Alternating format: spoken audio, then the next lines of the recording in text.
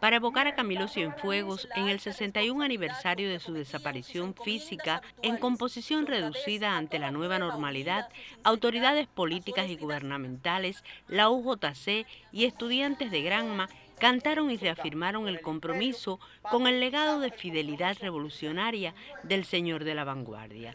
En la ceremonia fueron entregados carné de la Unión de Jóvenes Comunistas y el partido a estudiantes y trabajadores que desde su labor son seguidores del legado del héroe de Yaguajay. Aceptar este carné es asumir una responsabilidad de poder aportar desde lo que sé, desde lo que me he preparado, desde donde estoy, aportar a seguir defendiendo esos principios de la revolución y de nuestra sociedad.